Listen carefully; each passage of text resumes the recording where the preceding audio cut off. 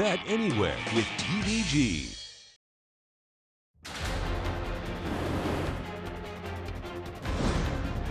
Hidden Scroll made a major splash in his career debut.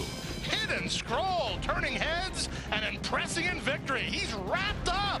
Hidden Scroll, wow. But when he stepped onto the Derby trail, things didn't go as planned. Code of Honor is on to the front. Hidden Scroll trying to hold on to second, but Code of Honor is going to hang on to win the Fountain of Youth. Now the stage is set for the rematch between Hidden Scroll and Code of Honor in South Florida's premier Derby prep race, the Grade 1 Florida Derby.